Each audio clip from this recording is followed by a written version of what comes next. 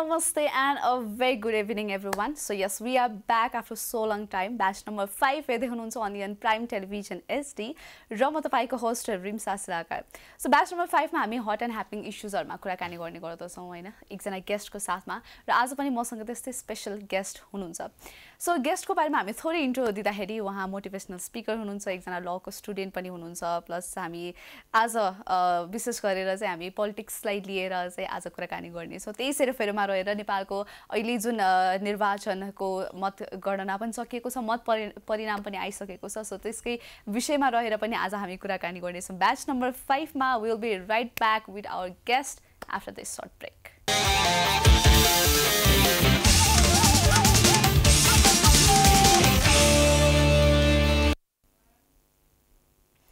welcome back after that short commercial break batch number five हेर्दै हुनुहुन्छ on prime television SD र मसँग आज स्पेसल गेस्ट मैले अघि नै पनि इन्ट्रो दिइहालेँ।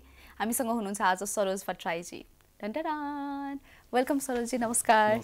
के छ खबर एकदमै फिट एन्ड फाइन छु है। अनि वर्ल्ड कपको माहौल चलिरहेछ सेमी फिनाले भइरहेछ। कतिको फलो गरिरहनु भएको छ गेमलाई हेरिरहेको हुन्छु हिजो पनि राति हेरेरै सुत्यो पहिलेदेखि अब मनपर्ने अर्जेन्टिना। अझ यो मेस्सीको। भनेपछि अब उसले लास्ट म यो लास्ट खेल्ने हो भने हिजो भनिसक्यो। त्यसपछि अब हिजोको उसको एसिस्ट पनि एकदम फेमस पनि भइरहेछ। र त्यो हेर्नु पनि मजा लाग्दछ हेरौँ अब आज अर्को गेम छ। आज आज चाहिँ कसलाई सपोर्ट गर्दै हुनुहुन्छ कि नै?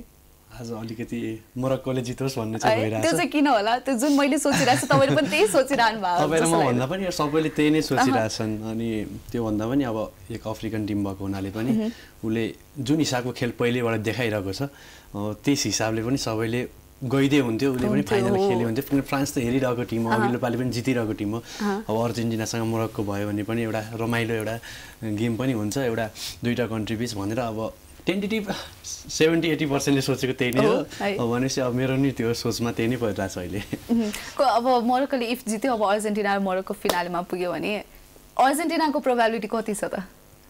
प्रोभाबिलिटी भन्दा पनि अब आफ्नै आफ्नै समर्थक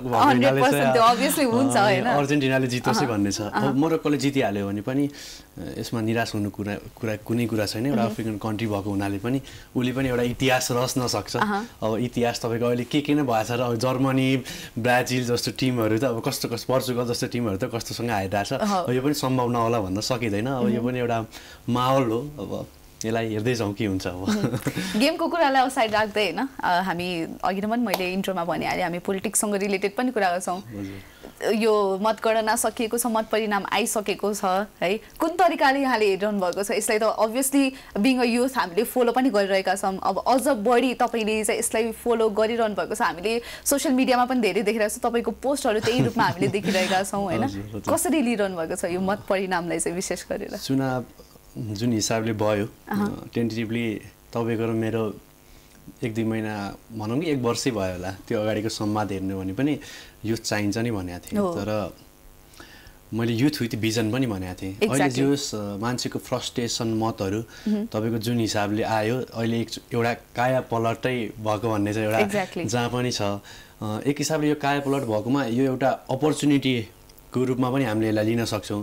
र अर्को हिसाबले यसलाई अलिकति निराशजनक अवस्था पनि छ। अब पार्टीकै तरिकाले हेर्ने हो भने यसमा निराश हुनुपर्ने उहाँहरूले पहिलाभन्दा करिब कम सिट पनि ल्याउनु भएको छ। कोहीले के गर्नु भएको छ? आम रूपमा उहाँहरूका बोलीहरूले पनि आम जनमानसमा प्रभाव पारेको छ। तर तिन महिनामा मान्छेको फ्रस्ट्रेसन मत आइराख्दाखेरि नयाँ पार्टीहरू आइराख्दाखेरि ती पार्टीहरूसँग विचार छन् कि छैनन्?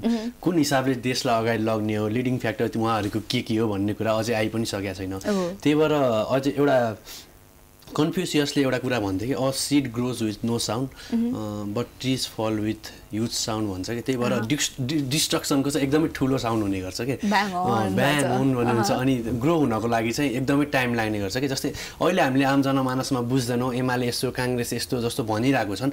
जुन हिसाबले उनीहरू ग्रो भएका थिए उनीहरूले सात सालदेखि जुन हिसाबले उनीहरू भित्री रूपमा त्यो आम एउटा निकटता बनाएर गएको थियो त्यो एकदमै अहिले देख्दाखेरि फितलो जस्तो लागे पनि इतिहासलाई नकेलाएर हेरे पनि उनीहरूको त इतिहास एकदमै ठुलो छ। अहिले जुन हिसाबले मैले जहिले पनि भन्ने गर्छु भिडले आम जनमानसले कहिले पनि यो निर्धारण गर्दैन को ठिक को बेठिक भन्ने कुरा। अब तपाईँले बाहिर बसेर के को माध्यमबाट के बोल्दै हुनुहुन्थ्यो आम जनमानसमाझ राम्रो बोली प्रभाव पारेर चुनाव त जितिहाल्नुभयो। चुनाव जिते पनि तपाईँहरू जुन हिसाबले आफूलाई ग्रो गर्नुपर्ने हो त्यो ग्रो नगरिकन पहिल्यै युथ साउन्ड दिँदाखेरि आम जनमानसमा जुन आशा जुन भरिएको हुन्छ त्यसलाई तपाईँले भोलि त्योसँग कपअप गर्न सक्नुहुन्छ कि सक्नुहुन्न भन्ने नै एउटा ठुलो चुनौतीको विषय बन्छ। त्यही भएर एक हिसाबले नयाँ युथको सुरुवात एकदमै राम्रो हो। यसले राम्रो रूप लियो कायापलट यसले गरेरै छाड्छ। नगरे नि अघि मैले जस्तै भने जस्तो नि अब ड्याङ्ग रुख ढले जस्तो हुने हो कि भन्ने पनि जुन हिसाबले अहिले यो समानुपातिको सिट बाँडफाँडमा जुन विवाद परिरहेको छ। त्यही भएर चाहिँ अलिकति चाहिँ यहाँ पनि डराउनु पर्ने अवस्था चाहिँ छ। होइन जस्तै यो स्वतन्त्र पार्टीबाट नै भनौँ कतिपय युथहरू आइरहनु भएको छ। सँगसँगै स्वतन्त्रबाट पनि कति युथ आइरहनु भएको छ। तर पोलिटिकल लिडर्सहरू जुन अगाडिदेखि आइरहनु भएको छ ठुल्ठुला दलका शीर्ष नेताहरूले चाहिँ स्वतन्त्र पार्टीको जुन उदयमान थियो यो केही क्षणको लागि एउटा टेम्पोररी मात्र हो भनेर उहाँहरूले त्यो स्टेटमेन्ट्सहरू पास गरिरहँदाखेरि बिङ अ फ्रस्टेड युथ म तपाईँलाई देखिरहेको छु अहिले यतिखेर होइन? तपाईँको विचार के छ यसमा चाहिँ? एकदमै राम्रो क्वेसन पनि गर्नुभयो तपाईँलाई मैले जुन हिसाबले भनेको थिएँ यो स्वतन्त्र पार्टी तपाईँको तिन महिनामा उदाएको पार्टी हो। यसलाई जुन आम रूपमा आम जनमानसमा त्यसको बारेमा एक शब्द भन्यो भने पनि कमेन्ट भरि भोलि गाली मात्रै खाने अवस्था पनि छ। अहिलेको अब बालेन रविजीलाई केही भन्यो भने पनि एकदमै भोलि प्रहार हुने टाइपको छ। तर त्यो हिसाबबाट अझै पनि हामीले हेऱ्यौँ भने र इतिहासलाई निहालेर हेरेनौँ भने हामी जहिले पनि चुक्ने गर्छौँ। जस्तै तपाईँ आफै बाहिर बोल्दै हुनुहुन्थ्यो आम मिडिया मार्फत जे मार्फत आफूले तपाईँले जुन कुराहरू भनिसक्नुभयो अब तपाईँ त भित्र छिर्नुभयो नि त। अब हेरौँ न त्यहाँनिर तपाईँलाई कति गाह्रो छ। त्यही भएर मैले अझ अघि नै हजुरलाई एउटा कुरा के पोइन्ट गरेको भन्दा मान्छेको फ्रस्टेड मत जो आम त्यो स्वतन्त्र पार्टीमा देखियो। यो राम्रो कुरा हो। तर तपाईँ र म यहाँ बसिराख्दा पनि उहाँहरूको विचारको दस्तावेज अब आउने बाटो के हो भन्नेको दस्तावेज हामीले हेरिसकेका पनि छैनौँ। र जुन हिसाबले उहाँहरू आउनुभयो राम्रो एजुकेसन ब्याकग्राउन्डबाट आउनु भएको छ राम्रो कुराहरूबाट आउनु प्रपर होमवर्क गरेर आउनु भएको छ होमवर्क गर्नुभएको छ होमवर्कलाई सो गर्नुभएको छैन। अझै टिचर मार्फत सो गर्नुपर्ने जनतामा जानुपर्ने। त्यो चाहिँ अझै गरिसक्नु भएको छैन। त्यही भएर अझै पनि उहाँहरूलाई निहाल्नलाई अलिकति हामीले हतार चाहिँ नगरौँ।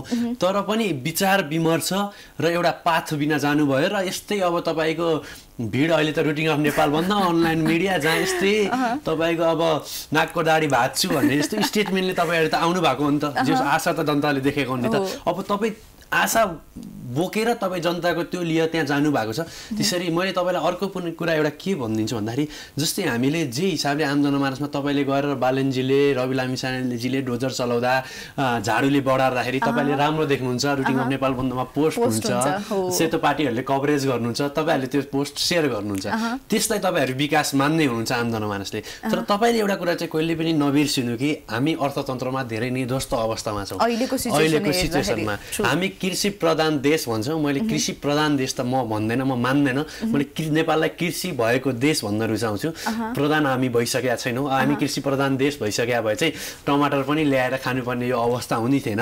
धेरै खानेकुराहरू हामी बाहिरबाटै इम्पोर्ट गरिरहेछौँ अहिले पनि तपाईँ जुन तपाईँ नेपाल समुदायमा जन्मे होइन तपाईँको जुन एउटा लोकल रक्सी फेमस छ भन्छ त्यो केबाट बनाउँछ भन्नु त?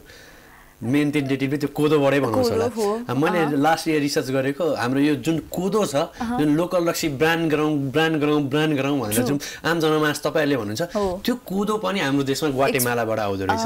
भनेपछि हाम्रो देशमा केही पनि छैन। त्यही भएर आम जनमासलाई मैले के भन्न रुचाउँछु र किन मैले धेरै गाली खाइरहेको हुन्छु कमेन्टमा भन्दाखेरि यस्तो तपाईँहरूको यो झाडु लिएर नाली बनाएको ठाउँमा गएर डोजर चलाएर यसलाई विकास होइन कि अब तपाईँ सांसद भइसकेपछि देशको अर्थतन्त्रलाई विकास कसरी गर्नुहुन्छ? तपाईँले यो देशलाई स्वनिर्भर कसरी बनाउन किनभने अर्थतन्त्र भनेको ब्याकबोन अफ कन्ट्री भनेर हामी कति धेरै पढेर घोकिरहेका हुन्छौँ तर त्यो प्र्याक्टिकल वेमा अहिले पनि छैन कि? होइन? तपाईँले अहिले पनि हेर्नु न अर्थतन्त्र र शिक्षालाई दाम जस्तै जुन क्षेत्रबाट अर्थतन्त्रको विकास हुनुपर्ने हो जितेको अर्को दिनबाट खेत खेतमा तपाईँहरूले नयाँ नयाँ योजना लानुपर्ने हो। तपाईँहरू अझै पनि त्यही झाडी सफा गर्नेतिरै जानु भएको छ नयाँ योजनाहरू तपाईँले अझै पनि बनाइरहनु भएको छैन। नयाँ गुरु योजना बन्नुपर्ने हो। अब म सांसदभित्र पहिलो दिन टेबुलेट हुँदाखेरि मैले उहाँहरूलाई कराएर देश बन्दैन कि? तपाईँले उसलाई गाली गर्ने यसलाई गाली गर्ने त्यो जमाना गइसक्यो। त्यहाँभित्र गएर उहाँले चर्को स्वरमा भाषण गर्नुहुन्छ। आम जनमानसलाई त्यो भाषण राम्रो लाग्छ उहाँहरूले सेयर गर्नुहुन्छ उहाँले विकास देख्नुहुन्छ। तर भित्रपट्टि यो देशलाई कृषि भएको देश कसरी बनाउने? यो कोदो आफ्नो देशमा कसरी बनाउने? यो टमाटरहरू। कसरी यो. बनाउने? यो लेभलको तपाईँले त्यो होमवर्कै गर्नु भएको छैन। अनि आम रूपमा उदयमान हुँदैमा राम्रो हो। मैले उहाँहरू आउनुभयो राम्रो हो। युवा आउनुभयो म राम्रो गर्छु। तर युवा विथ भिजन आउनु भएको कि छ भएको छ कि छैन के लाग्छ? आउनु भएको विथ भिजन आउनु भएको छ कि छैन त उहाँहरू? आम जनमानसको यत्रो मत हुँदा पनि अब कसलाई भोट दिने भनेर पा- पार्टीलाई सोद्धा पनि है योपालि त मैले मामुलाई शुद्ध कन्भिन्स गरेर स्वतन्त्रलाई दिलाउने भनेर भनेको जुन हिसाबले उहाँहरू आउनुभएको छ। आशा मलाई छ। आशा मलाई अहिले उहाँहरूबाट मात्र पनि होइन। सबै अहिले जितेर आउनुभएको एक सय पैँसठी एलङ विथ समानुपातिक एक सय दस जोडा टु सेभेन्टी फाइभ हुन्छ। उहाँहरू सबैबाट मैले पहिलो चरणमा आशै राख्छु। किनकि अब पनि तपाईँ सुध्रिनु भएन भने त अब पाँच वर्षपछि त तपाईँ जानुभयो। अब कुन हिसाबले देश बन्दैछ तपाईँ आफै हेर्नुहोस्। त्यही भएर मैले मैले देख्ने विकास देशको अर्थतन्त्रको देश कृषिमा निर्भर हुने त्यसपछि देशमा स्वनिर्भर उत्पादन हुने राजनीतिक पनि तपाईँको जित्ने बित्तिकै राजदूतहरूलाई भेट्न नपर्ने हाम्रो दिल्ली सम्झौताले जुन हिसाबले हाम्रो यो भूमिलाई कसरी हाम्रो क्यापिटललाई नै दिल्ली लगेको भन्छु मैले त अब सोह्र बुद्धि सम्झौताले।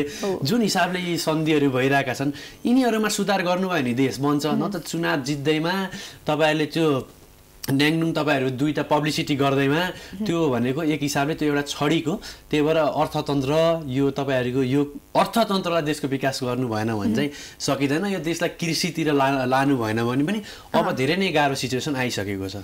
ओके सो यही भनिरहँदाखेरि जुन तोसिमा कार्कीज्यूले जित्नुभयो होइन? जितिसक्दाखेरि उहाँ एक्सनमा पनि उत्रिनु भयो त्यहाँको जनताले उहाँलाई भोट दिइसके पश्चात जुन उहाँ एक्सनमा उत्रिनु भयो तर त्यहीँको जनताले फेरि जुन सडक खण्डको म कुरा गर्दैछु यतिखेर त्यही जाँदाखेरि चाहिँ त्यहीँको मान्छेहरूले पनि उल्टो उहाँहरूलाई उहाँलाई पनि हुन्छ नि नराम्रो प्रवृत्ति। नराम्रो प्रवृत्ति त्यो बिहेभियर पनि त्यही भइहाल्यो। सँगसँगै अर्कै नजरियाले पनि हेर्ने होइन अब मैले भोट दिएको छैन भने कति पक्षले चाहिँ अनि कुनै पक्षले चाहिँ मैले भोट दिएको हो भनिरहँदाखेरि पनि उनीहरूको आइडिया क्लास भइरहेछ क्या त्यहाँ होइन? सो त्यही भनिरहँदाखेरि कति मान्छेहरू आफूले जिताएको उम्मेदवारहरूसँग पनि सन्तुष्टि नभएकै हो त अहिले? जिताएको भन्दा पनि आम रूपमा सामान्य तपाईँ एमाले म काङ्ग्रेस भयो भने तपाईँ मेरो लागि विरोधी नै हो। राजनीतिमा त विरोधी नै हो। त्यसलाई हामी सामान्य रूपमा लिनुपर्छ।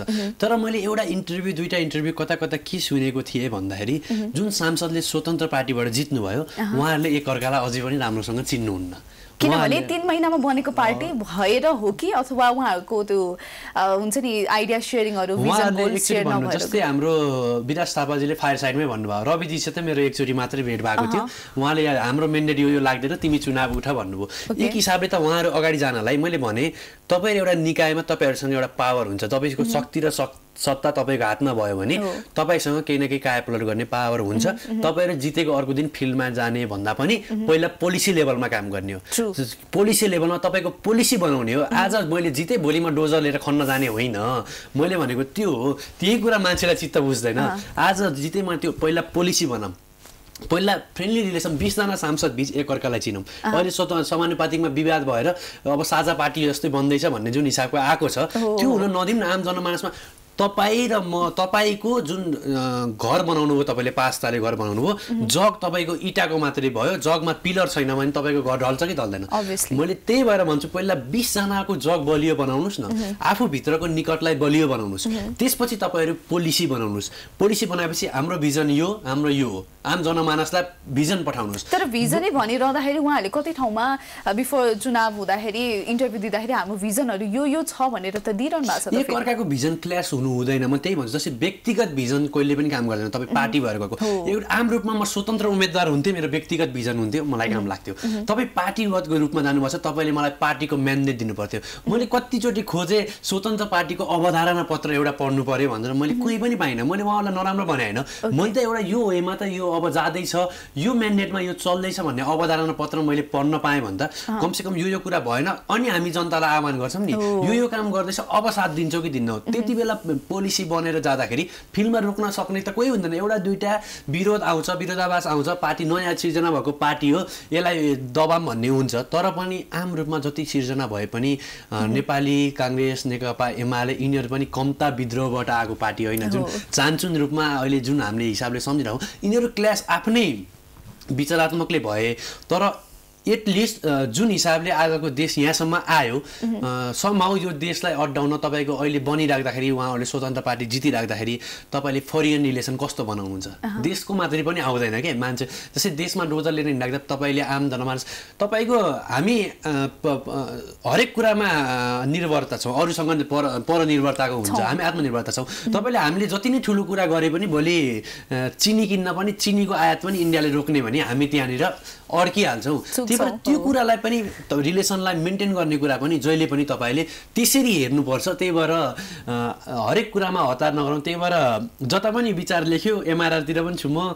रुटिन पनि नेपाल बन्दतिर पनि हुन्छु। विचार बनाऊ भनौँ भनेको विचारले बनाइस् अब उदाय डोजरले गर्छ जे गर्ने भन्नुहुन्छ। त्यही भएर मैले सबैलाई भन्छु त्यही भएर आम रूपमा चाहिँ अवधारणा पत्र हेरौँ सिद्धान्त हेरौँ पोलिसी मेकिङ हेरौँ त्यसपछि बोलाउँला हतार चाहिँ नगरौँ भन्छु। म त्यही भएर उहाँहरूलाई धेरै मिडियाहरूले मलाई बोलाइरहनुहुन्छ। अस्ति एउटा स्पिच दिएको थियो त्यो प्रोग्राम थियो।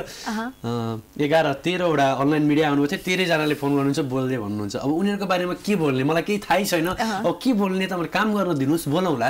भोलिका दिनमा आम रूपमा राम्रो गर्नुभएछ उहाँले राम्रो गर्नुभएको छ उहाँलाई यो पोलिसी लाग्नुहोस् भनेर हामी साथ दिएर भोलि के थाहा हाम्रो भविष्य पो त्यो पार्टीले देखाउँछ कि के थाहा भोलि यही पार्टी सुध्रेर पो हामीलाई थाहा दिन्छन् कि हेरौँ न पहिला बल्ल त आउनु भएको छ भनेर चाहिँ त्यो लेभलले चाहिँ अझै हतार गर्न चाहिँ हामीलाई अझै हामीले यति छिटो त्यो पार्टीहरूलाई विश्लेषण गऱ्यौँ मूल्याङ्कन गऱ्यो भने चाहिँ हामीले हतारै गर्छौँ त्यो हिसाबले चाहिँ। डोजरको कुरा धेरै आइरहँदाखेरि मलाई सोध्नै मन लागेको क्वेसन आई गेस यो अहिले जति पनि अडियन्सहरू हामीलाई हेर्दै हुनुहुन्छ उहाँहरूको मनमा पनि त्यही क्वेसन होला। बालेन शाहको कामप्रति त्यो असन्तुष्टि कहीँ कतै झल्किन झल्किएको मैले चाहिँ देखेको छु कि? तपाईँ तपाईँको विचारमा चाहिँ के छ? किनभने डोजरकै त्यो प्रसङ्ग आइरहँदाखेरि चाहिँ तपाईँको के छ विचार यसमा चाहिँ। जुन हिसाबले तपाईँले पोलिसी। लेभलमा काम गर्नुपर्छ भनेर तपाईँले भन्नुभयो। डोजर लिएर हिँड्ने होइन भोलिपल्ट पोलिसीमा काम गर्नुपर्छ भनेर भन्नुभयो?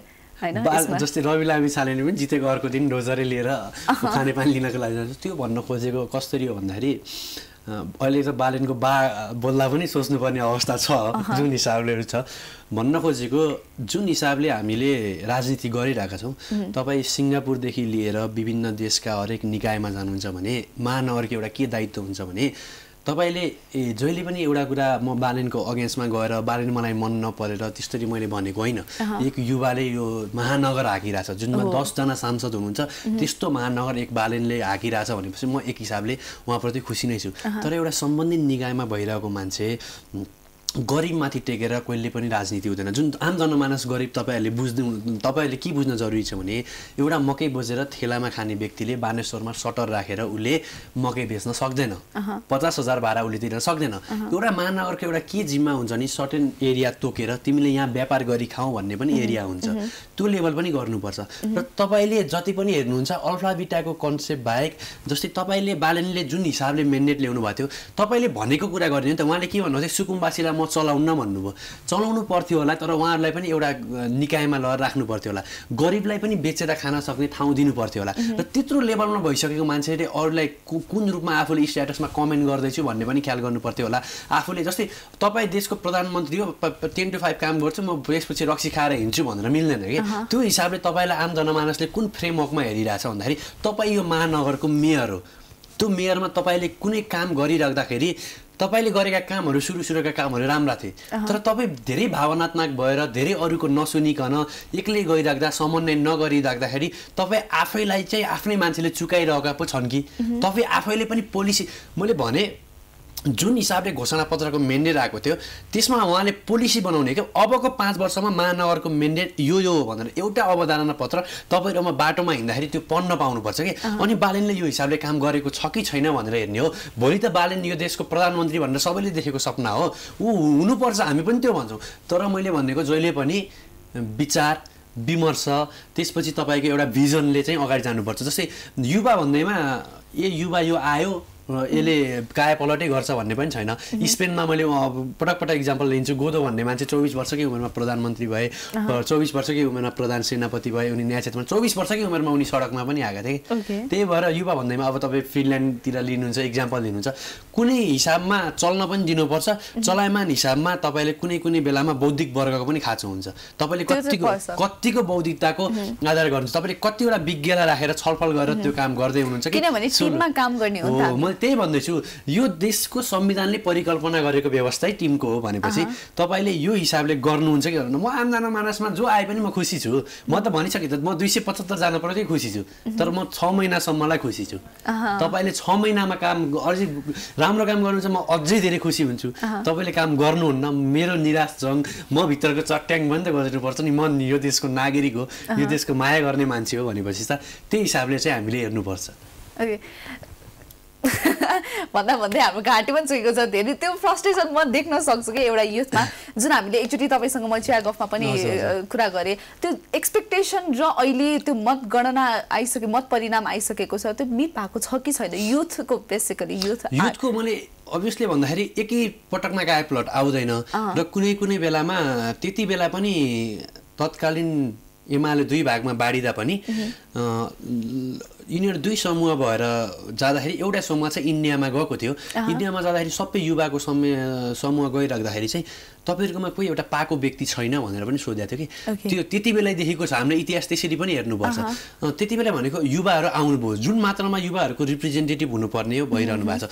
तर युवाहरू आउँदैमा मैले त्यो पनि भनेको थिएन कि उहाँहरू आउनु मात्रै हुन्छ। मैले भन् मैले के भन्दा थिएँ नि उहाँहरूले कति विज्ञताको छलफल गर्नुहुन्छ। उहाँहरूले कति विज्ञताको बहस गर्नुहुन्छ। उहाँहरू कति रुटमा ग्राउन्ड रुटमा आम जनमानससँग जानुहुन्छ। भन्ने कुरा हो। उहाँहरू आउनुभयो त्यसमा विमति छैन। एकदमै खुसी छु। जुन हिसाबले यो निर्वाचनमा त्यो धाँधली यो यो गरियो यो एउटा आम लोकतान्त्रिक ठाउँमा त्यस्तो नहुनु पर्ने हो। त्यही भएर पनि एक हिसाबले यसलाई म खुसीको क्षण पनि हेर्छु। अर्को हिसाबले हेर्दाखेरि अलिकति काम गर्न देऊ न। उहाँहरूलाई के हिसाबले अलिकति काम गर्न देऊ भन्ने पनि एउटा मेरो धारणा हो। यति छिटो विश्लेषण गरेर हतार चाहिँ नगरौँ। मेरो भन्ने चाहिँ त्यो हो। जुन हिसाबले अब आइरहेको छ प्रधानमन्त्री यस्तो यस्तो भनेर। त्यो हिसाबले चाहिँ हतार नगरौँ। यत्रो निर्वाचन भएर देशको यत्रो पैसा लगानी भइसकेपछि आशा त अरबौँ पैसा गइसक्दाखेरि एउटा आशा गर्ने त एउटा तपाईँ हाम्रो दायित्व हो। आशा गरौँ काम गर्न देऊ के थाहा? यिनीहरूलाई पनि त धक्का पऱ्यो यिनीहरू पनि सुध्रिन्छन् कि यो देशको। त्यही भएर हरेक कुरालाई हेर्नुपर्छ देशको निकायको अर्थतन्त्र कृषि तपाईँको आफ्नो छिमेकीसँग गर्ने त्यो रिलेसन त्यो सबै कुरालाई मेन्टेन गरेर हेऱ्यो भने चाहिँ एक हिसाबले यो राम्रै हुन्छ। ओके राम्रो होस् भनेर हामी कामना पनि गर्दैछौँ अहिलेको लागि भने we are heading to a short commercial break will be right back keep watching us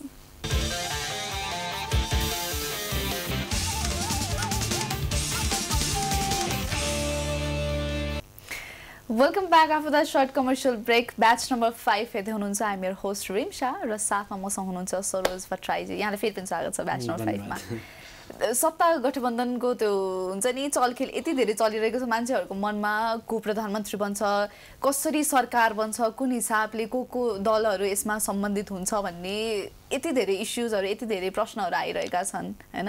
तपाईँको विचारमा चाहिँ अबको राजनीति नेपालको कुन सिचुएसनमा जान्छ कसरी जान्छ त? अबको राजनीति कुन सिचुएसनमा कसरी जान्छ भन्दा पनि यसलाई अलिकति इतिहासबाट केलाउँ जस्तै तपाईँको इतिहासले नेपालले बिर्सेको दुईवटा नाम छ। जुन राजाराम प्रका राजाराम प्रसाद रा राजाराम प्रसाद सिंह भन्ने। उहाँलाई हामीले कसरी बिर्स्यौँ भन्दा दुई हजार अट्ठाइस सालको पञ्चायतको बेलामा उहाँले चुनाव जित्नुभयो। चुनाव जितिसकेपछि चाहिँ शपथ खाने बेलामा चाहिँ उहाँलाई बेसरी कुटियो। कुटिसकेपछि चाहिँ उहाँलाई यही त्यही हिसाबमा चाहिँ उहाँ पटना जानुभएको थियो। उहाँहरूको एउटा सम्मेलन थियो। उहाँलाई चाहिँ तिमी तराईको प्रधानमन्त्री बन भनेर भन्दाखेरि चाहिँ म तराईको मात्रै प्रधानमन्त्री बन्दैन भनेर उहाँले त्यति बेला छोड्नु भएको थियो। त्यसपछि तपाईँ अस्ति अर्कै तर तल भाटमा हुनुहुन्छ नि राजा अर्को हाम्रो एउटा राणा भाटजी हुनुहुन्छ हाम्रो। उहाँलाई पनि सुनको किस्तीमै ठ्याक्क बन्ने तिमी प्रधानमन्त्री बन्नुपर्छ भनेर दिँदा पनि उहाँ त्यति बेला पनि भन्नुभएको थिएन। जस्तै यी यस्तो इतिहास हामी केलाउँदै आइराख्दाखेरि अहिले पनि तपाईँ जुन काङ्ग्रेसमा सत्ता गठबन्धनमा जुन विवाद देख्नु भएको छ। त्यति बेलै पनि तपाईँले के बुझ्नु भन्दाखेरि बिपी र सुवर्णेश्वरमा जुन बेला एक एकले अर्कोलाई तिमी प्रधानमन्त्री बन तिमी प्रधानमन्त्री बन अबको प्रधानमन्त्री तिमी हो भन्थे भले बिपीले त्यति बेला परशुराम चौधरीलाई अब उहाँ हाम्रो भावी प्रधानमन्त्री हो भन्ने कुरा थियो अब बुपी र सुवर्णेश्वरबाट चल्दै आएको यता पछाडि आउँदाखेरि तपाईँ कृष्ण प्रसाद भट्टराई र हाम्रो गणेश मान सिंह उहाँहरू बिचमा पनि एकले अर्कोलाई प्रधानमन्त्री। बनाउने भन्ने। पनि त्यति बेला पनि थियो र अहिले तत्कालीन पछाडिकै कुरा गर्नुहुन्छ भने गिरिजा प्रसाद कोइराला र शेरबहादुर देउवा जब गिरिजा प्रसाद कोइरालाले गगन थापाको उमेरको शेरबहादुर देउवालाई चाहिँ प्रधानमन्त्री बनाउनु भयो भनेपछि अहिले पनि अब आम रूपमा शेरबहादुर देउवाको मनमा पनि एउटा त्यो खुट्किलो छ भने उहाँले अहिले आम रूपमा छोडेर अब सबैले भनेको भावी प्रधानमन्त्री उहाँलाई दिनुपर्ने हो। अब आम रूपमा उहाँले उहाँले छोड्नुहुन्छ जस्तो चाहिँ मैले मान्दैन। एक हिसाबमा त्यो हस्तान्तरण भएर नयाँ हिसाबले आउँछ भने उहाँलाई दिन एउटा उचितै देखिन्छ। तर मैले ठ्याक्कै यो शेरबहादुर दिवाजहरूले छोडेर जुन ओके। भन्ने कुरा थियो तर अहिले आम रूपमा जुन आउनु छ दुई सिट ल्याए पनि तिन सिट ल्याए पनि नेपालको राजदिन राजनीति प्रचण्डले नै निर्धारित गर्ने हो भन्ने खालको जुन एउटा हिसाब छ। त्यसैले ठ्याक्कै यो प्रधानमन्त्री भनेर कसैले पनि अहिले भन्नै नसक्ने एउटा माहौल चाहिँ एउटा त्यो एउटा क्याओटिक सिचुएसन चाहिँ अहिले देशमा चाहिँ छ। आकाङ्क्षी त धेरै छन् नि। प्रधानमन्त्री। प्रधानमन्त्रीको आकाङ्क्षी भन्दा पनि आम रूपमा चाहेर म प्रधानमन्त्री हुन्छु भनेर पनि भएन। किनकि त्यो दलबाट आउनु पर्यो। दलमा त्यो पनि समर्थन भएर आउनु पर्यो। भनेपछि तपाईँ गठबन्धनमा हुनुहुन्छ। पाँच दलले समर्थन गर्नु पर्यो। एक सय छत्तिसवटा व्यक्तिमा एक सय एक एक व्यक्तिलाई एक सय छ छत्तिसदेखि सडतिस व्यक्तिले समर्थन गर्नु पर्यो बहुमत ल्याउनु पर्यो अनि। तपाईँ बहुमतको भएर प्रधानमन्त्री हुनुहुन्छ। अब त्यही जुटाउनलाई तपाईँले अब कानुनभन्दा माथि पनि अत्यादेश ल्याएर रेशम चौधरीलाई छुटाएर अब सरकार बनाउने जुन हिसाबमा जानुभएको छ त्यो एउटा लाजमर्दो खेल हो। तर यस्तै सिचुएसन हो भने अहिलेको सिचुएसन हङ पार्लियामेन्टको सिचुएसन हो। भन्न खोजेको अबको ढाई वर्ष या छ महिनामै पनि नयाँ चुनावको चाहिँ एउटा परिदृश्य चाहिँ देख्न सकिन्छ। यही यही यही परिकल्पनाले. अगाडि बढ्यो भने चाहिँ। भनेपछि चाहिँ यो हो भनेर ठ्याक्कै भन्न चाहिँ सकिँदैन। तर मलाई आम रूपले लाग मैले देखेको चाहिँ यो अझै पनि पुस्तान्तरण हुँदैन। यो घुम्ने माधव कुमार नेपाल प्रचण्ड केपी ओली र शेरबहादुर यिनै मध्येमै कहीँ न कहीँ घुम्छ। सागर ढकालको हिसाबमा कुरा गर्ने हो भने हजुरबा पुस्तामा अझै पनि अझै पनि त्यही। अड्किने सम्भावना छ। पाँच वर्ष अझै त्यहीँ अड्किन्छ। त्यसपछि पनि अब आम रूपले हो भने पनि तर गगन थापाज्यूले भनिरहनु भएको छ म क्यापेबल प्रधानमन्त्री भविष्यको प्रधानमन्त्री हुँ भनेर उहाँले अहिले ठोकुवाका साथ पनि भनिरहनु भएको छ नि त। त्यही त मैले भन्दैछु भन्दैमा प्रधानमन्त्री भइँदैन कि? त्यही त मैले पनि भन्छु तपाईँलाई पैँतिस वर्षको उमेर हुने बोल्दैमा प्रधान जस्तै उहाँको प्रधानमन्त्री बन्नको लागि संसदीय दलमा चुनाव जितेर आउनुपर्छ। संसदीय दलमा जो भोट हाल्ने हो त्यो सबै शेरबहादुर देउवाको पक्षको मान्छेहरू संसदीय दलमा हुनुहुन्छ। तर शेरबहादुर देवाजीको पक्षमा पनि भन्न मिल्दैन होला नि किनभने कङ्ग्रेसभित्र पनि त्यत्तिकै फुट छ नि त फुटको संहारमा छ। जस्तै तपाईँ जुन हिसाबमा तपाईँ पार्टी सभापति बन्दै हुनुहुन्थ्यो र जुन रूपमा तपाईँले आफूको पार्टीको संरचना बनाउनु भएको थियो त्यति बेलै तपाईँले जुन निकायमा छनौट भएर आउने हो त्यो निकायमा आफ्नै निकटको नजिक राख्नु भएको थियो। जस्तै केपी ओलीको पालामा पनि आठजना कि नौजनाको समिति बन्दाखेरि सातजना आफ्नै निकटको राख्नु भएको थियो त्यसरी चुनाव गर्दा जितिन्छ। जस्तै तपाईँ आम रूपमा जति नै भने पनि संसदीय दलको चुनावमा गगन थापाजी लड्नुहुन्छ। लडेपछि उहाँलाई त्यहाँ हराइन्छ त्यसपछि आम रूपमा शेरबहादुर देउवाजीलाई नै जिताइने हो। त्यही भएर जनमानसले बुझ्दाखेरि बाहिरको संरचनालाई बुझ्छौँ हामी।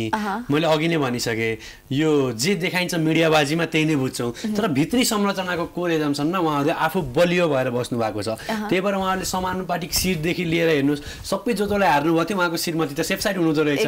त्यसपछि त्यो हिसाबले संरचना बनिसकेको छ। त्यही भएर चाहिँ हामीले यो पालि पुस्ता हस्तान्तरण चाहिँ हुन्छ भनेर चाहिँ खासै कल्पना चाहिँ हामीले गर्न सक्दैनौँ। भनेपछि। सम्भावना भयो भने राम्रो किनकि काङ्ग्रेसमा पनि सम्भावना तपाईँको उति बेलादेखि बिपी सुमणेश्वरदेखि त्यो संरचना हुँदै आएको। अब त्यो भयो भने हामीलाई राम्रो तर ज्योतिषीले सातौँ पटक भन्नुभएको छैँ पटक हुने चान्स छ। खासै यहाँनिर चाहिँ केही होला जस्तो चाहिँ मलाई लाग्दैन। भनेपछि अबको पाँच वर्ष पनि हामी पहिलाकै त्यो राजनैतिक दलदलमै फसिने नै हो कि? अथवा अघि आश गरौँ सम्भावना? अघि आश गरौँ भनिराख्दाखेरि अहिले निराश पोख्न चाहिँ मिलेन। किनकि आशा चाहिँ गरौँ। उहाँ नै प्रधानमन्त्री भएर पनि उहाँले सुधार्नुहुन्छ भने ठिकै छ। अब सुधार्नु भएन भने चाहिँ आम रूपमा विचार विमर्श नै भएन भने चाहिँ अब केही न केही कायापलट जुन तपाईँको अहिले इन्डियामा देखियो त्यो चुनावमा त्यो कायापलट चाहिँ आउँछ। अब देशव्यापी रूपमा हामीलाई चाहेको पनि त्यही हो। र नयाँ शक्तिको उदयमान पनि विचारवाला मैले त्यही भन्छु विचारवाला शक्ति भएको विमर्श बोकेको आम जनमानसमा पुग्ने पैसाभन्दा राजनीति ठुलो भन्ने कुराहरू यो चुनावमा हुने चलखेलहरू यो बाइकबाट बाहिर गयो नि हो। त्यही भएर मैले भनिराख्दाखेरि हामी मान्छेमा नै प्रब्लम छ कि नेपालका जनता भेडा भन्छन् एक हिसाबले त्यो तरिकाले मलाई नि हो कि जस्तो पनि लाग्न लागिसकेको छ। तपाईँ त्यही संरचनालाई आज गाली गर्दै हुनुहुन्छ त्यही संरचनाभित्र भोलि तपाईँले टिकट पाउँदाखेरि गएर तपाईँ चुनाव लड्नुहुँदो रहेछ। किनकि तपाईँले त्यत्रो गाली गर्नुभयो। अब जसमा हामीसँगै काम पनि गरेका छौँ। एमालेलाई यति गाली गर्नुभयो भोलि वहीँ भित्र गएर तपाईँ चुनाव लड्नुभयो लड्नु। तर त्यो राम्रो पक्ष पनि हो। एक हिसाबले उहाँले उहाँ गएर सुधार्छु भनेर पनि जानुभएको होला। तर आम रूपमा तपाईँले त्यहाँ गइराख्दाखेरि एक हिसाबले विचार चाहिँ फेर्नुहुन्न कि? आफ्नो भिजन चाहिँ फेर्नुहुन्न। र बोलिराख्दाखेरि हामीले जस्तै अब तपाईँको संसदको मान मर्यादा भइसकेपछि चाहिँ आफू के बोलिन्छ भने जनाएको छ। जस्तै ज्ञान साईले चुनाव जित्नु आम रूपमा उहाँले बाहिर बस्ने बोल्ने भाषणहरू त चोर म चोर त्यही हिसाबका भाषणहरू एक एउटा माननीय भएर संसद भवनभित्र छिरिराख्दाखेरि त्यो अलिकति पचाउन लायकको चाहिँ हुँदैन। हुन त हाम्रो संसद भवनमा कुर्ची हाना ढुङ्गा मुढा पनि हुन्छ। तर आम रूपमा जति धेरै हामी लड्छौँ उति धेरै बाहिरी शक्ति हाबी हुन्छ। किनकि यत्रो दिनमा मौन्द्रको बाहिरी शक्ति अहिले सबै राजदूतावास यस्तो भइराख्दाखेरि चाहिँ को प्रधानमन्त्री हुने भन्ने कुरा त आम जनमानसमै छैन यो त अरू बाहिरी देशको हातमा छ भन्ने पनि छ। किन आम हिसाबले त्यो देखिएको पनि छ र जनताले तपाईँले पनि न्युज मिडिया खोल्ने बित्तिकै आज यसलाई भेट्यो आज उसलाई भेट्यो भन्ने देख्नुहुन्छ। यस्तो सिचुएसनमा चाहिँ हामीले के आशा गर्ने के आशा नगर्ने भन्ने पनि त्यहीँनिर पनि अलिकति अन्यल चाहिँ छ। राजनैतिक कुरालाई बुझ्न चाहिँ एकदम धेरै प्रपर हुन्छ नि मेन्टल्ली आफू पनि स्ट्रङ हुनुपर्छ त्यो हिसाबले होमवर्क पनि गर्नुपर्छ भन्ने छ होइन? राजनीतिलाई बुझिरहँदाखेरि कुरा गरिरहँदाखेरि इन्डियाको इन्फ्लुएन्स एकदमै धेरै छ नेपालको राजनीतिमा भनिरहँदाखेरि चाहिँ होइन? के छ यहाँको विचार? यो डिरेक्टली नै प्रधानमन्त्री बन्नेदेखि लिएर राजदूत बन्नेदेखि लिएर इन्डियाको इन्फ्लुएन्स होइन? कतिको छ? अथवा बाहिरी बाहिरी देशको भनौँ न नट ओन्ली इन्डिया बाहिरी देशको हस्तक्षेप चाहिँ के कति छ? यो पूर्ण रूपले हस्तक्षेप भएको भन्दा पनि आम रूपले हस्तक्षेप के हुन्छ भन्दाखेरि तपाईँले चुनाव जित्ने बित्तिकै जुन एउटा माहौल तपाईँले जुन देख्नुभयो त्यसले आम जनमानसमा के बुझाउँछ? त्यो त एक हिसाबले ठिक हो उहाँले कङ्ग्रेचुलेसन दिनलाई भेटेको पनि भन्छ।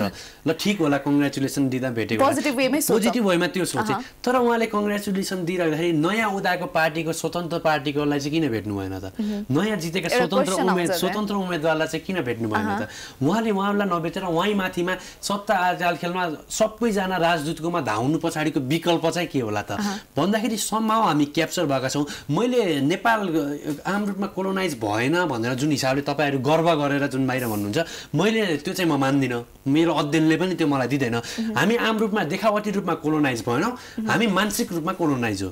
हामी मानसिक रूपमा कोलोनाइज हो किनकि हाम्रा कानुन सुरुको कानुन पनि हामीले इन्डियाबाट मान्छे ल्याएर बनाएको।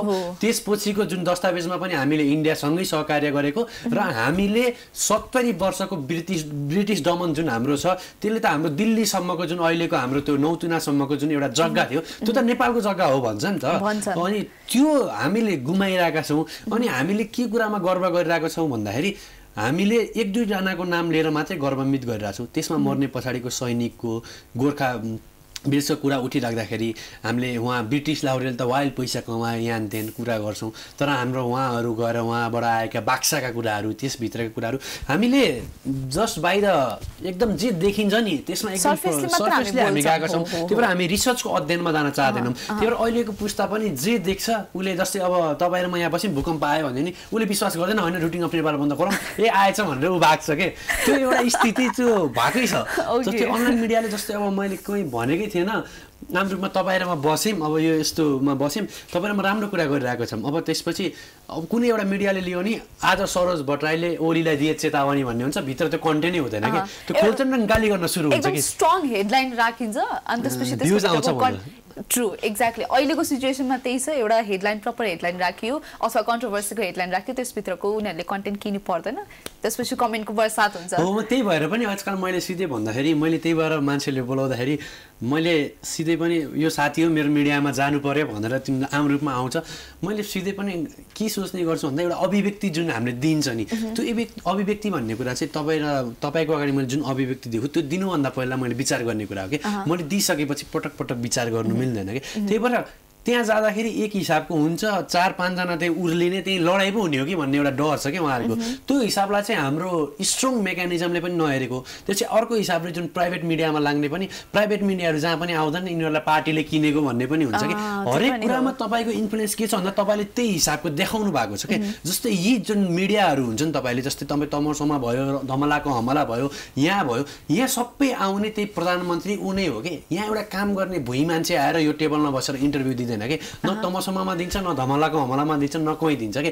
एउटा खेतमा आली लागेको किसानसिम गएर इन्टरभ्यू लिँदा र एउटा कृषि मन्त्रीलाई साइडमा राखेर इन्टरभ्यू लिँदा वास्तविक पीडा के हो भन्ने कुरा त्यसरी थाहा हुन्छ कि? त्यो हामी मिडियामा त्यो कन्सेप्ट लिइरहेको छैनौँ। जस्तै अब तपाईँले पत्रिकाको हिसाबमा लिइरहँदाखेरि पनि सामान्य भुइँ मान्छेका लेखहरू छापिँदैनन्।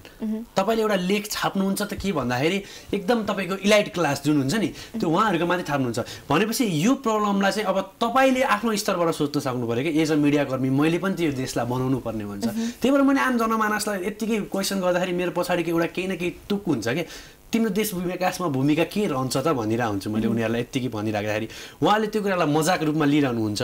मैले चाहिँ उहाँको फिलोसोफिकल रूपमा उहाँहरूले देशलाई के सोच्नु हुँदो रहेछ त भनेर टेन्टेटिभली जसलाई पनि मम्मीलाई पनि तपाईँको के भूमिका रहन्छ त भन्ने हिसाबले सोचिरहेको हुन्छु कि त्यो भनेको चाहिँ त्यही भएर मैले बनाउने पत्रहरू अवधारणा पत्रहरू जुन मैले अहिले करिब दुईवटा जति निकालेको छु अस्तिको सम्मेलनबाट त्यही भएर मैले जहिले पनि ग्राउन्ड रिसर्च गर्छु त्यही भएर मैले धेरै गाली खाने गर्छु सर्वेसियल रूपमा जे पनि आन्दोलन मानसमा राम्रो भनिदिने वा भनिदिनेको एकदमै राम्रो हुन्छ त्यही हिसाबले चाहिँ मैले म राम्रो अरू नराम्रो भन्न खोजेँ होइन तर हामीले मिडियाबाजीमा जाँदाखेरि र आफू इन्फ्लुएन्स भएर पब्लिसिटीमा जानको लागि चाहिँ हामीले मेन स्ट्रिम र हामीले चुरो कुरो चाहिँ छुट्याइरहेको छौँ। ओके सो मेरो फाइनल क्वेसन अबको जुन टाइम पिरियड आउँछ पैँतिस वर्षको उमेरमा सरोज भट्टराईलाई हामीले प्रधानमन्त्रीको रूपमा भावी प्रधानमन्त्रीको रूपमा हामीले देख्न पाउने छौँ या छैनौँ त? के छ? यो प्रश्न एकदमै यो जुन मिडियामा गए पनि एकदमै आउने एउटा यो नहेरेको नि कोही नहुँदो रहेछ जस्तो भइसक्यो एउटा राम्रो कुरा हो। मेरो राजनीतिमा आउनु चाहना भन्दा पनि मैले तपाईँलाई पहिले पनि भनेको थिएँ जुन हिसाबको यो विकृति देखिरहेको छ भोलि यिनै पार्टीहरू सुध्रिन्छन् यिनीहरू राम्रो गर्छन् ठिक छ यिनीहरू हामीबाट पढ्न चाहन्छन् विज्ञताको छलफल गर्न चाहन्छन् ठिक छ म यो राजनीति सुध्रिन्छ भने मलाई राजनीतिमा आउनु खासै त्यो मनदेखि चाहिँ राजनीतिमा आएर मै आएर सुध्रिन्छ भन्ने खालको पनि होइन म। यहाँ आएर सुध्रिनुहुन्छ भने उहाँहरू पढ्नुहुन्छ राम्रो गर्नुहुन्छ जस्तै अहिले मतपेटिका पुगेको अधिकांश ठाउँमा किताब पुगेको छैन। त्यो किताब पुगेको छैन तर तपाईँको मतपेटिका गोर्खाको एउटा विकट ठाउँमा पनि जान सक्दो रहेछ। तर किताब जानलाई चाहिँ तपाईँले सक्नुहुन्न छाप्नलाई। त्यो परिदृश्य जुन देखाउनु भएको छ आम रूपमा तपाईँहरू सुध्रिनु भयो म जस्तो मान्छे उदय हुनै पर्दैन। तपाईँहरू सुध्रिनु भयो म तपाईँहरूलाई साथ दिन्छु। तपाईँहरू सुध्रिनु भएन अब यो पाँच वर्ष तपाईँको लागि एउटा चुनौतीको हो। यति पाँच वर्षमा पनि तपाईँहरू सुध्रिनु भएन भने त अब एउटा विज्ञताले चाहिँ एउटा क्याप्चर गर्नै पर्छ। त्यो हिसाबमा चाहिँ सुध्रियो ठिक छ उदयमान नहुन पनि सक्छ। सुध्रिएन र यो देशलाई अब बचाउन त मेरो पनि एउटा दायित्व हो। त्यही भएर यो देश सुधार्नलाई चाहिँ यो पार्टी यो व्यवस्था सुध्रिएन भने चाहिँ मेरो भूमिका चाहिँ अवश्य पनि रहन्छ। पार्टीमा लागिन्छ कि लागिँदैन त यसो भन्दाखेरि चाहिँ? पार्टी सुध्रेको हिसाबले यही पार्टीमा लाग्न पनि सकिन्छ। पार्टी सुध्रिएनन् र नयाँ विचारको कुनै पार्टी आयो राम्रो विचारको छलफल हुन थाल्यो र एउटा काया पलट ल्याउने सिचुएसन भयो भने नयाँबाट पनि जान सकिन्छ। त्यही भएर जानलाई केही पनि छैन। मैले त्यही भन्ने गर्छु कि त्यति बेला पैँतिस वर्षको भन्ने बेलामै सयवटा जति फोन आएको थियो यहाँ पार्टीमा आएछ यहाँ यो क्षेत्रको तँलाई अध्यक्ष बनाइदिन्छु लिड गरी यो त्यही भएर मैले हतार भन्दा पनि त्यो झ्याम्मै जाने त्यो टाइपको हुन्छ नि। जुन हिसाबले इन्टेलेक्चुअल बसको पुण्य गौतमजीलाई पहिला कस्तो कस्तो इन्टेलेक्चुअल बसमा गराइन्थ्यो अहिले उहाँलाई तपाईँलाई कुन हिसाबमा गराइन्छ भन्ने पनि मान्छेमा फरक हुन्छ। त्यही भएर चाहिँ एक हिसाबले यही पार्टी सुध्रियो भने यिनीहरू विद्रोह गरेर आएका पार्टी यिनीहरूको एकदमै ठुलो भूमिका छ। देशलाई यहाँ ल्याउन त्यत्रो राणा शासनदेखि लिएर राजा शासन यिनीहरूले फालेकै हो त्यसलाई हामी मान्नै पर्छ र जनताले पनि कदर गर्नै पर्छ। तर मैले चौध वर्ष जेल बसेको हुँ भन्दैमा तपाईँलाई देश लुट्ने अधिकार चाहिँ हामीले दिँदैनौँ र मैले जिब्रो काटेको भएरमै म प्रधानमन्त्री भएर जे पनि बोल्छु र जे पनि गर्छु भन्ने अधिकार चाहिँ हामी दिँदैनौँ। सुध्रिनुहुन्छ सुध्रिनु सुध्रिनुहुन्न भने तयार हुनुहोस् अब भन्ने नै हो मेरो त। ओके एकदमै स्ट्रङ पोइन्ट यहाँले राख्नुभयो। जाँदा जाँदै हाम्रो अडियन्स जति पनि अहिले दर्शकहरू हेरिरहनु भएको छ उहाँले छोटो मिठो रूपमा केही मेसेज दिन चाहनुहुन्छ? विशेष त तपाईँलाई यो मौका दिनुभयो। ब्याच नम्बरको फेरि नयाँ प्रारम्भ भयो र तपाईँ आउनुपर्छ भनेर जुन एउटा प्रस्ताव राख्नुभयो त्यसको लागि चाहिँ म विशेष तपाईँलाई पनि धन्यवाद दिन्छु। र जाँदा जाँदै आम जनमानसमा मैले बुझ्ने कुरा चाहिँ प्रत्येक जसलाई जिताउनु भएको छ एक पालिलाई त्यहाँको भिजन के छ भनेर भिजन माग्नुहोस्। त्यो हिसाबले काम गर्नुभएको कि छ कि छैन। त्यो हिसाबले तपाईँसँग गलत ताउने अधिकार पनि छ। त्यो हिसाबले अब सांसद भवन अगाडि आएर ढुङ्गा मुढाको भन्दा पनि विज्ञताको क्रान्ति गर्न थाल्नुहोस् र त्यसपछि चाहिँ अझै यति छिटो निराश चाहिँ निराशै निराश नजानुहोस्। पोजिटिभ पनि हुनुहोस्। पोजिटिभ तरिकाले इन्फ्लुएन्स गर्नुहोस्। भएन भने अब जनता जनार्दन भन्ने शब्द छँदैछ। त्यो हिसाबले चाहिँ समग्र रूपमा तपाईँ हामी मिलेर चाहिँ एउटा विचारको एउटा क्रान्ति चाहिँ गर क्रान्ति भन्दैन म क्रान्तिभित्रको क्रान्ति रिभोल्युसन. अगेन्स्ट रिभोल्युसन भन्छ। त्यो चाहिँ गर्न जरुरी छ। Okay thank you so very much for coming आज ब्याच नम्बर फाइभ एकदमै इन्फर्मेटिभ टक भयो एकदम धेरै नयाँ कुराहरू सिक्ने पनि अवसर पाएको थिएँ thank you so much so yes thank you so very much for watching batch number five र आजको टाइम भने हाम्रो लगभग सकिएको छ। हामी भोलि फेरि पनि आउने नै छौँ। So yes this is very signing off with lots of love goodbye